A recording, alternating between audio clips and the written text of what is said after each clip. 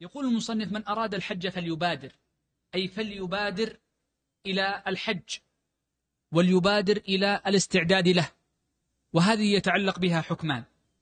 الحكم الأول أن الحج واجب على الفور لمن كان مستطيعا. فكل من كان مستطيعا المال وهي الزاد والراحلة فإنه يجب عليه الحج إذا كان إما ببدنه إن كان قادرا ببدنه أو بالإنابة لغيره إن لم يكن قادرا ببدنه. فالاستطاعة هي بالمال. كما جاء في الأثر هي الزاد والراحلة. وأهل العلم يقولون إن الأمر للفورية. إن الأمر للفورية عموما وفي الحج على سبيل الخصوص. ولذا قال عمر رضي الله عنه لقد هممت أن آمر أن أكتب إلى الأمصار لمن لم يحج فأضرب عليهم الجزية.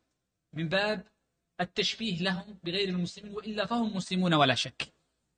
وهذا يدلنا على أن الحج يجب على الفور. فكل من وسع الله عز وجل عليه وكان في ماله فضل للزاد والراحلة فيجب عليه أن يحج حجة الإسلام وهي مرة في العمر. هذا الأمر الأول فهي المبادرة إلى الحج وجوبا لأنه فرض. الأمر الثاني في قوله فليبادر أي فليبادر إلى فعل أسباب الحج.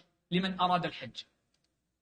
فيبادر في التخلص من المظالم ويبادر في تطهير نفسه من الغل والحسد وغير ذلك من الآداب التي سيوردها المصنف.